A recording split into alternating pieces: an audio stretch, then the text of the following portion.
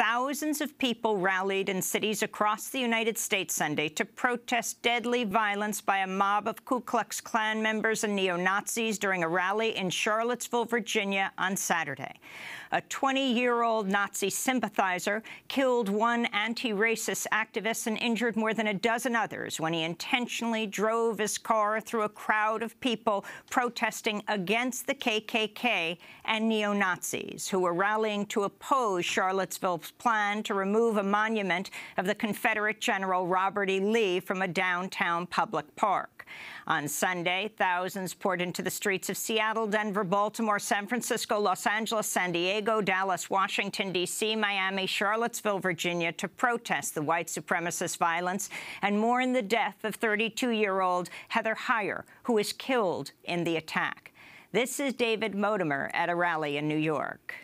It's very interesting that he made a big point in his campaign about naming radical Islamic terrorism.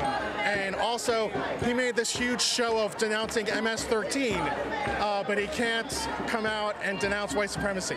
I mean, that's, that's outrageous. At least three people were arrested at the protest in New York City. Across the country, many of the protesters also condemned the Trump administration for its ties to far-right and white supremacist figures.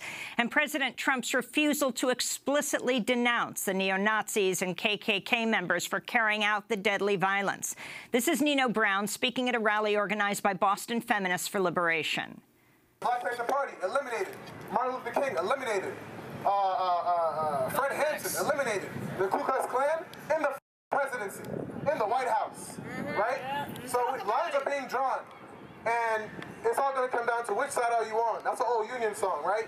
Yeah. Which side are you on? In Seattle, Washington, at least three people were arrested as hundreds rallied Sunday to denounce the violence in Charlottesville and to oppose a local demonstration by the pro-Trump far-right group, the Patriot Prayer.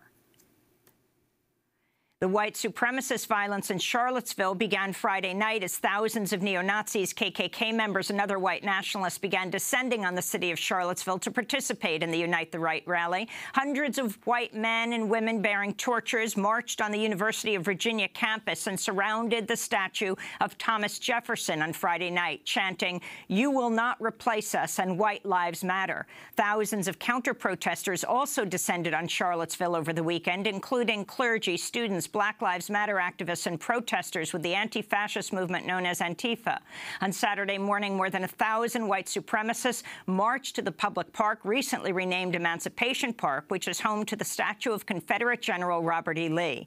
Many were carrying Nazi flags and other white supremacist paraphernalia, wore body armor, and carried assault rifles and pistols. They were met by the thousands of anti-racist counter-demonstrators. Dem witnesses report police did little to intervene even as fights broke out. Around 1.45 p.m., a man named James Alex Fields, who had been rallying with the white supremacists earlier in the day, drove his Dodge Charger into a crowd of counter-demonstrators, then peeled away in reverse in what many are calling an act of terrorism.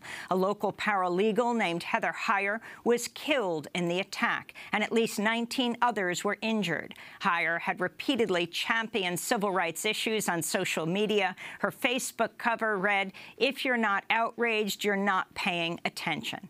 This is Heather Heyer's mother, Susan Bro, speaking on ABC News. And that's what she was doing that day. Yeah. Yes, yesterday when she was killed. She was doing that with people. She was saying, well, tell me why you're here. And um, I know this because this is what her friends told me. And that's what Heather's life was all about passion for fairness, passion for equality, passion for justice. Heather Heyer's mother speaking on NBC this weekend. One of James Alex Field's high school teachers says he was obsessed with Adolf Hitler and Nazi military history and showed clear Nazi sympathies that the teacher tried unsuccessfully to steer him away from. Fields has been charged with one count of second-degree murder and is slated to be arraigned today. Two state troopers, Pilot Lieutenant H.J. Cullen and Trooper Pilot Berke M.M. Bates, also died Saturday when their helicopter crashed en route to the scene of the violence. Photographs and videos also show white supremacists beating other counter-demonstrators, including a young African-American protester named DeAndre Harris.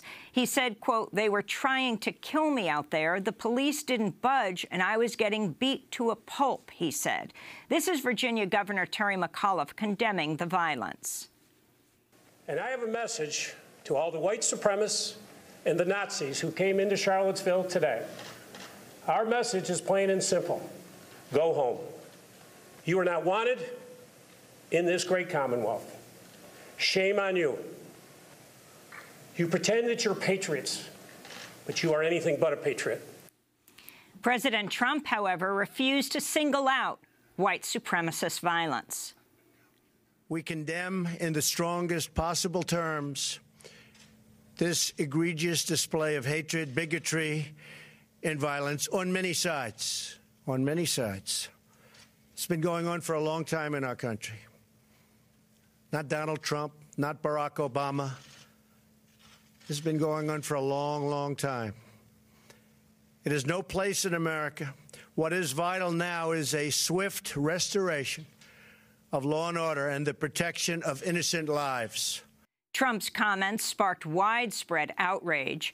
A new White House statement on Sunday explicitly denounced the Ku Klux Klan and neo-Nazi groups, but it was attributed to an unnamed spokesperson and not the president himself. Other members of the Trump administration have more explicitly condemned the violence. Trump's national security advisor, H.R. McMaster, said the attack constituted terrorism.